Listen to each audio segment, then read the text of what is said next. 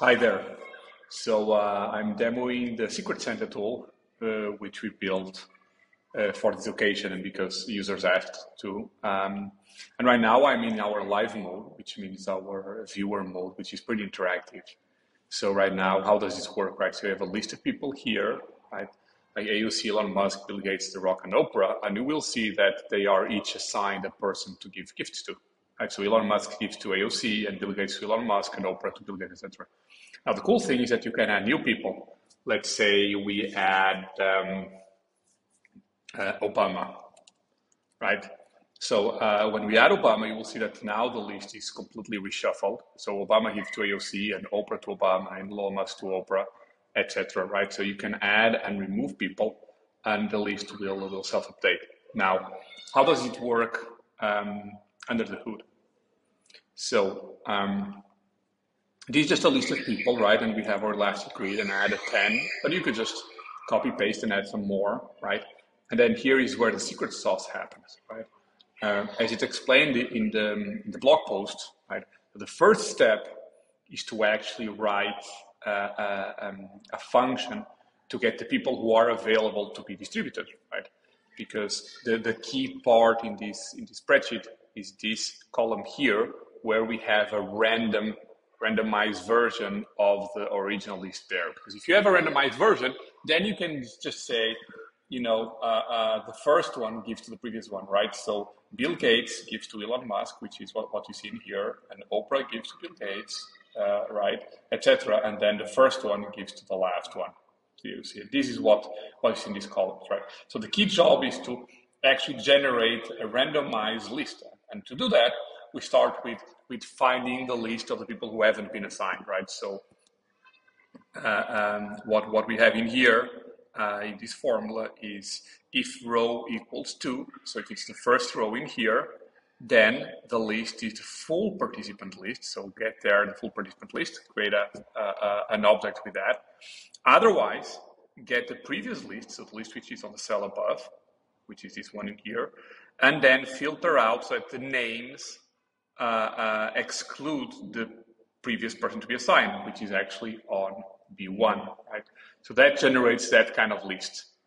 Um, obviously, then, then, then, there's, there's this extra gizmo here, which says that if the row is bigger than the number of people, just just write uh, two empty two empty brackets, right? Which is what you see in here. So if you need more people, you also can copy this formula down, and it will work with more people. Now, once we have the list, right, and you will see that um, at the first step, everyone is there. Um, uh, so AOC, Elon Musk, Bill Gates, The Rock, and Oprah. And you will see that on the second step, uh, actually one person has disappeared. Who is it? Like obviously Elon Musk, which is the first person, right? And you will see that on the third one, uh, uh Bill Gates also disappeared, right? And so this is uh, this step of the uh, of the of, of the building of the spreadsheet, right? Um, then on the second column, which is where we actually find the random people, we just say, okay, okay, uh, we start with this uh, with this little cleanup. So if the previous cell is is empty, so if it's not someone we want to award, then just write also empty empty cell. Otherwise, go in there and parse or fetch um, um, the name of a person whose index is a random between zero and the length of that object, right? This is what this is doing, right?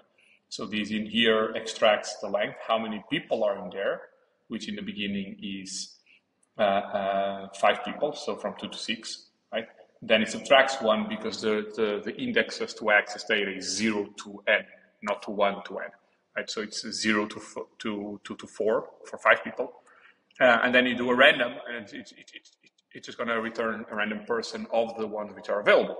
And the last step uh, is, is, only fetching the person who that person gives to. So if the row is number two, so if you're in the first row, you have to actually get the last person, right? And in there, so we just get grab the people um, and then uh, parse it and get the, the last one, right? So give me the last person on that list, which is the index nine, minus one. If you wanted the the, the last but one, you do minus two. Uh, um, and then uh, you return uh, this person, which is the name of the column. Otherwise, just give me the person who is on the previous column, right? Because this is a, a straight a straight assignment. And this is how we build it, right? So I'm going to go back to live. And here we have the list. If, we, if you want to use it yourself, you just click duplicate, right? And it's going to copy it into your own spreadsheet and then you will, will be able to access it. I hope you liked it.